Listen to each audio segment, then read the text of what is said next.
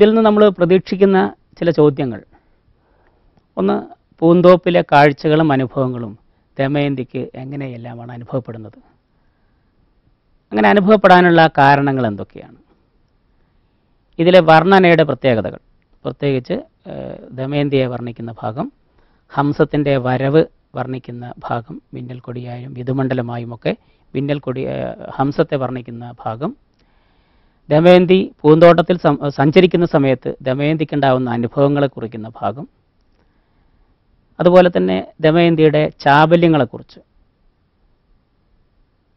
വളരെ വലുതായിട്ടും ഒരു അനയ അരയന്നത്തിന്റെ പിറകെ ഗഗനചാരിയായ അരയന്നത്തിന്റെ പിറകെ പിടിക്കാൻ വേണ്ടി നടക്കുന്ന ഒരു കുട്ടിയുടെ മനസ്സ് കാണിക്കുന്നത് അരയന്നത്തിന്റെ ഉപദേശം. ഇതിന്റെ ഈ ഉപദേശങ്ങളുടെയൊക്കെ ഒരു സമകാലിക പ്രസക്തി. അറിയാതെ പലതിന്റെയും പിറകെ പോയി ആപത്തുകളിൽ ചെന്ന് ചാടുന്ന ഒരവസ്ഥ. ഈ അവസ്ഥ ഇല്ലാതിരിക്കാൻ വേണ്ടി ഹംസം നൽകുന്ന ഉപദേശം. ഇങ്ങനെ ഇത്തരം കാര്യങ്ങളുമായി ബന്ധപ്പെട്ടൊക്കെയുള്ള ചോദ്യങ്ങൾ നമ്മുടെ ഈ യൂണിറ്റുമായി ബന്ധപ്പെട്ട് ഈ പാഠഭാഗവുമായി ബന്ധപ്പെട്ട് പ്രതീക്ഷിക്കാവുന്നതാണ്. ഈ യൂണിറ്റിൽ തന്നെയുള്ള അടുത്ത ഭാഗം മുരിഞ്ഞപ്പേരിയും ചോറും എന്ന് പറയുന്ന വിദൂഷകക്കൂത്തിൽ നിന്നുള്ള ഒരു ഭാഗമാണ്. സംസ്കൃതത്തിലെ പ്രാചീന കലാരൂപമായ കൂടിയാട്ടവുമായി ബന്ധപ്പെട്ടാണ് ഈ പേര് വന്നിട്ടുള്ളത്. ഈ ഭാഗത്ത് നാടകം എന്നതിലുപരിയായിട്ട് ഒറ്റയ്ക്ക് നിന്നാണ് രസകരമായിട്ട് കഥ പറയുന്നത്. കൂടിയാട്ടത്തിന്റെ ആദ്യ ഭാഗങ്ങളായിട്ടാണ് ഇത് ഉപയോഗിക്കുന്നത്. ഒരാൾ ഒറ്റയ്ക്കാണ് ഈ ഭാഗം അവതരിപ്പിച്ചുകൊണ്ടിരിക്കുന്നത്. ഈ കൂത്തിന്റെ സവിശേഷത എന്ന് പറയുന്നത് ഏറ്റവും പ്രധാനപ്പെട്ടത് ഇതിന്റെ ഹാസ്യാത്മകതയാണ്. മറ്റൊന്ന് വാമൊഴി തെളിമയാണ്. ഇതിൽ ഉപയോഗിക്കുന്നത് മിക്കവാറും സംസാര ഭാഷയാണ് ഉപയോഗിക്കുന്നത്. അതിശക്തമായ സാമൂഹ്യ വിമർശനമാണ് ഇതിന്റെ മറ്റൊരു മുഖമുദ്ര. അതോടൊപ്പം തന്നെ കാണികളെ ഇതിലെ കഥാപാത്രങ്ങളാക്കി മാറ്റുകയും ചെയ്യും.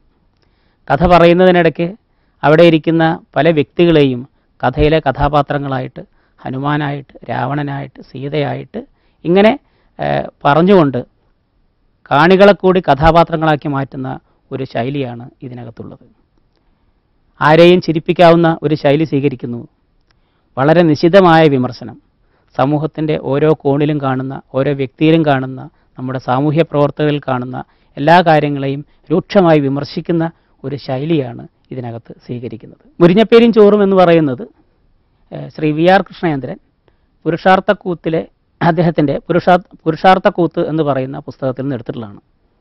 അദ്ദേഹം കേട്ട ഭാഗങ്ങൾ കേട്ടതുപോലെ എഴുതിയതിൽ നിന്ന് പകർത്തി എഴുതിയതിൽ നിന്ന് എടുത്തിട്ടുള്ള ഒരു ഭാഗമാണ്.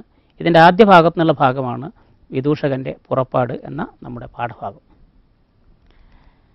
ഇതിലെ ചുരുക്കം എന്ന് പറയുന്നത് കൗണ്ടിന്യൻ എന്നു പേരുള്ള ഒരു വിദൂഷകൻ ധർമ്മപുത്ര രാജാവിനെ കാണാൻ പോകുന്ന ഭാഗം. തന്റെ ദാരിദ്ര്യം അദ്ദേഹം ഭംഗ്യന്തരേണ രാജാവിനെ ബോധിപ്പിച്ച് പ്രീതി സമ്പാദിക്കുന്നു. അങ്ങനെ അദ്ദേഹം പ്രീതി സമ്പാദിച്ച് രാജകൊട്ടാരത്തിലെ വിദൂഷകനായിട്ട് കഴിഞ്ഞുകൂടുന്നതാണ് ഇതിനകത്തുള്ള പാഠഭാഗത്തുള്ള രംഗം. ഇതിന്റെ പ്രത്യേകത എന്ന് പറയുന്നത് ഇതിൽ ദാരിദ്ര്യത്തെ വിദൂഷകന്റെ വീട്ടിൽ ദാരിദ്ര്യമാണ് കൗണ്ടിന്യന്റെ വീട്ടിൽ ദാരിദ്ര്യമാണ്. ഈ ദാരിദ്ര്യത്തെ അദ്ദേഹം അവതരിപ്പിച്ചിട്ടുള്ളത് മുരിഞ്ഞപ്പേരിയും ചോറും തമ്മിലുള്ള വഴക്കായിട്ടാണ്. മുമ്പ് ചോറുണ്ടായിരുന്ന സ്ഥാനം ഇപ്പം മുരിഞ്ഞപ്പേരി കയ്യേറിയിരിക്കുന്നു എന്നാണ് അദ്ദേഹം പറയുന്നത്.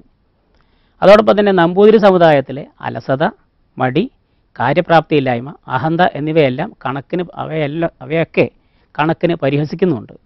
അദ്ദേഹം പുറപ്പെടുന്ന ഭാഗം തന്നെ പറയുന്നുണ്ട്. പറഞ്ഞു കേട്ടപ്പോഴേക്ക് രാജസേവകനായിട്ട് പുറപ്പെടണം എന്ന് പറയുമ്പോഴേക്കന്നെ ഇറങ്ങി പുറപ്പെടുകയാണ്. എവിടേക്കാണ് പോകേണ്ടത്? ആരെയാണ് കാണേണ്ടത്? എന്താണ് ചെയ്യേണ്ടത് എന്നൊന്നും ചോദിക്കുന്നില്ല.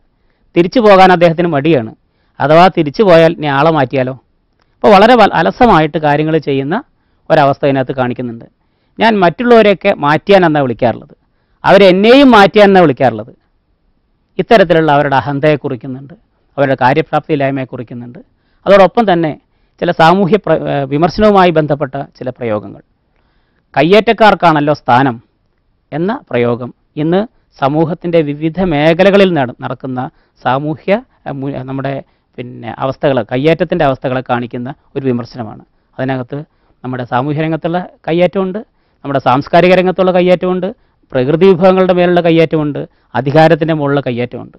ഇത്തരം കയ്യേറ്റങ്ങളൊക്കെ വളരെ സൂക്ഷ്മമായി വളരെ നിശിതമായി വിമർശിക്കുന്ന ഒരു തലം കൂടെ ഇതിനകത്ത് നമുക്ക് കാണാൻ കഴിയും.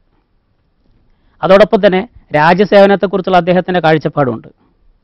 രാജ്യസേവന സേവകനാകണമെന്നുള്ളത് അദ്ദേഹത്തിന്റെ വലിയ ആഗ്രഹമാണ്. കാരണം അദ്ദേഹത്തിന്റെ വീടിന് മുമ്പിലൂടെ കുതിരപ്പുറത്ത് രാജ്യസേവകന്മാർ പോകുന്നത് കാണാം.